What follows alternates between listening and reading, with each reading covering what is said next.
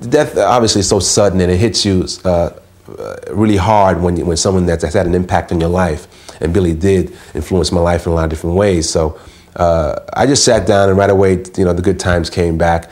Everyone likes to harp on the negative when you talk about Billy Martin, but um, uh, like I said, you know, to, the, to, a lot of the media, I mean, you know, Billy was no angel, but um, there was a lot of good in Billy Martin, and, and uh, the people that he touched, uh, you know, he really left an impression. And for me in particular, I'll never forget uh, what he meant in my early life. As I grew older in, in my profession, um, uh, I owed a lot to where I am right now as a ball player. Uh, you know, some people might not, might not agree, but even as a human being in some ways off the field, um, in what he taught me A couple days later, I couldn't believe it. You know, I started hearing people saying, well, you know, the guy was a violent guy and he was this and he was that, and you'd think that he would die that way. And I, I started thinking about how sick people can think, the things to say, you know. But they didn't know him like I knew him, so I knew better, you know. Um, but I, you know, I was, I was shocked, I was hurt. I mean, I was really hurt. And um, I think uh, Stephanie felt it a lot too because um, I mean, she just broke up and you know almost went to pieces and um, but you know I'll miss him. Two days, three days before the accident, the fateful day, he came down here to read the uh, night before Christmas to 2,000 underprivileged kids. We had a concert at the hall, big, big, with the symphony orchestra. And everybody wondered. They wanted Billy Martin reading, you know, the night before Christmas. He brought the house down. He was tremendous. And that's the way I remember him, and that's the way I always want to remember him. Sitting there singing carols with me to those kids and the rest of the people, and sitting there reading the night before Christmas to 2,000 kids that were going to have no Christmas. And they went crazy over it.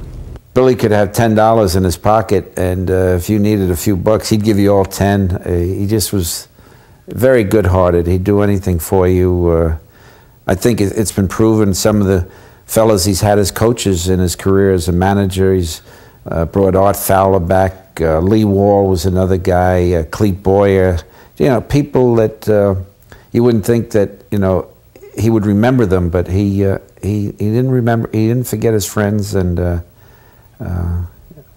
he was just a very loyal and very soft-hearted guy, also. But like you said, he could be tough too. I was um at my condominium, and we was um, serving dinner Christmas dinner, and uh, uh, my brother or somebody came by and they goes, "Oh, Billy had an accident, and blah blah blah, Billy died."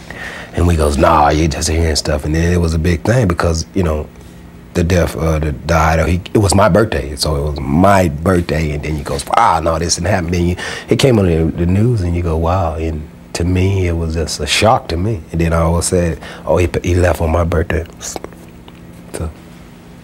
It was a to me it was a, hard feeling. I felt that a a great man had left the game of baseball, and you know we're gonna miss it. Yeah, that was the baseball night.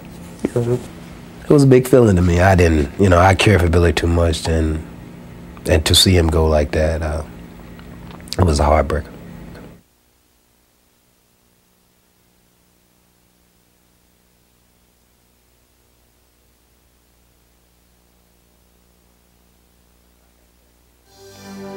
Like I've said before, and I'll always say it, I may not have been the greatest Yankee that ever played, but I am the proudest.